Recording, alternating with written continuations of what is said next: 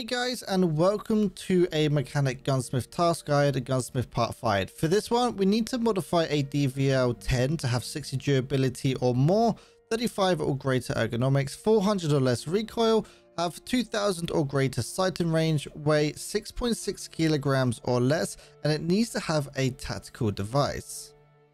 Don't forget to leave a like on this video if you find this guide useful.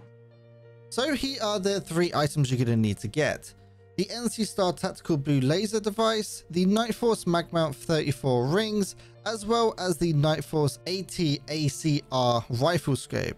So starting off with the gun itself, at tier 3 with Skier or on the flea market where you can buy it cheaper, you can buy it from Skier for 80k, but there is also a barter trade for this which is 5 horse and 1 teapot.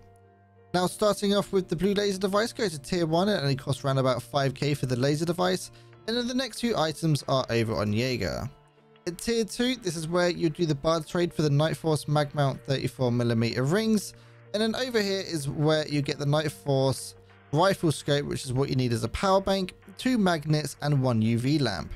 All of these items are really commonly found in the filing cabinets, and when it comes to the propane, if you go hit up OLI in Interchange, this is definitely the best place to find them. So after purchasing everything, what you're going to want to do is put the laser device on, put the sight inside of the 34mm ring mounts, whack this on the gun, make sure you take the magazine out of the gun itself, as well as make sure if there's no bullet in the chamber, make sure you take the bullet out of the chamber. And don't forget about the durability, it needs to be above 60.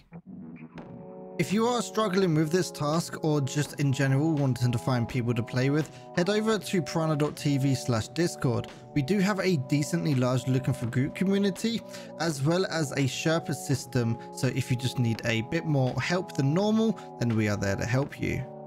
Hopefully you guys found this guide useful. If you did, don't forget to leave a like and subscribe or possibly consider joining the channel membership where you can unlock early videos as well as a few custom rewards. Don't forget to check out Piranha.tv as well. That's a one-stop shop for all of your guides, tasks, keys, all those kind of things in one location. Hopefully you guys found this guide useful and I'll see you in the next video. I was gonna say. Hello? Yo, please turn off your Put hacks, down I beg of you. You dead? Yeah, maybe we should see if we can... Oh, you're actually dead! There is someone there, dude!